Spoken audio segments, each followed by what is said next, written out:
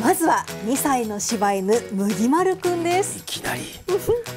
やってきた動物病院の前でじーっとオープン待ちをしています。待ってるんですかこれ。はい動きません。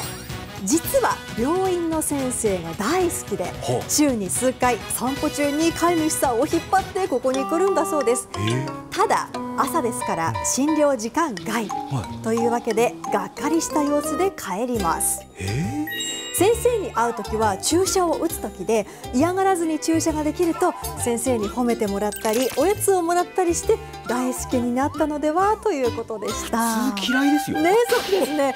で麦丸くん注射だけではなくってうんこのように雷が鳴ってもへっちゃらなんですね。